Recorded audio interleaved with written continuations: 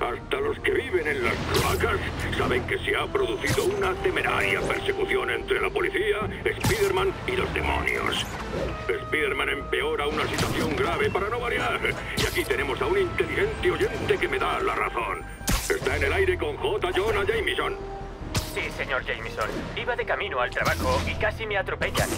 Me parece bien que Spider-Man salvara al rehén y me alegro, pero podía haber muerto. Y no solo usted. Este es el problema con ese pirado enmascarado. La policía puede coordinarse, cortar las calles y colocar bandas con pinchos antineumáticos porque son un equipo. Spider-Man es un tío que solo se preocupa por sí mismo y usted casi paga el pato. Y con su vida.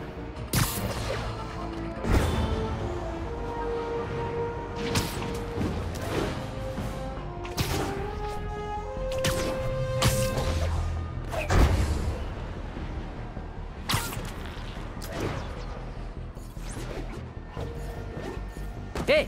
¡Spiderman!